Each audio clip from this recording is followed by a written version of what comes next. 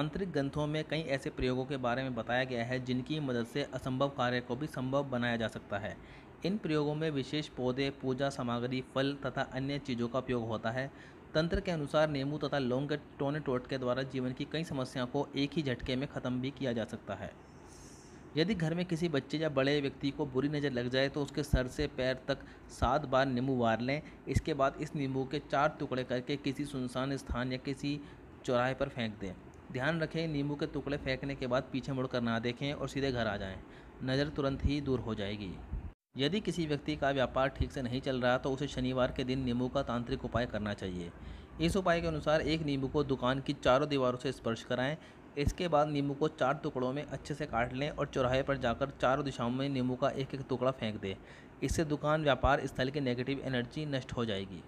घर की नकारात्मक ऊर्जा को दूर करने के लिए घर में नींबू का पेड़ लगाएँ। नींबू के पेड़ से आसपास का वातावरण सकारात्मक ऊर्जा से भरपूर होता है। इसके साथ ही नींबू का पेड़ घर में लगाने से घर का वास्तु दोष भी दूर होता है।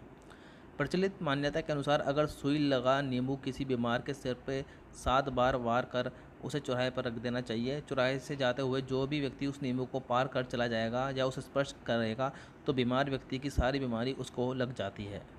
यदि कोई व्यक्ति अचानक ही बीमार हो जाए तथा उस पर दवाइयों का कोई भी असर ना हो तो इसके लिए भी नींबू का उपाय किया जा सकता है।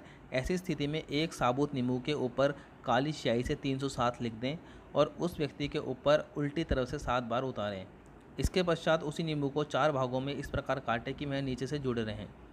फिर वह उसी नींबू को घर से बाहर किसी निर्जन स्थान पर फेंक दें। इस उपाय को करने से पीड़ित व्यक्ति 24 घंटों के अंदर ही स्वस्थ हो जाएगा। अगर आपको कड़ी मेहनत के बाद भी बार बार असफलता मिलती है तो नींबू का एक छोटा सा उपाय आपके सारे काम बना देगा। इसके लिए आप एक नींबू और चार लौंग लेकर किसी निकट के हनुमान मंदिर में जाएँ। वहाँ हनुमान जी की प्रतिमा के सामने बैठकर नींबू के ऊपर चारों लौंग लगा दें। इसके बाद हनुमान चालीसा का पाठ करें। पाठ करने के बाद हनुमान जी से सफलता दिलवाने की प्रार्थना करें और इस नींबू को जेब में लेकर आएँ। आपको निश्चित ही सफलता मिलेगी।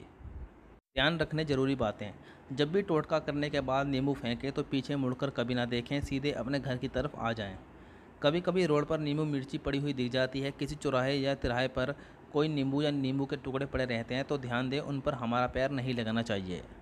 ऐसे और वीडियोज़ के लिए वीडियो को लाइक, शेयर और चैनल को सब्सक्राइब ज़रूर करें। धन्यवाद।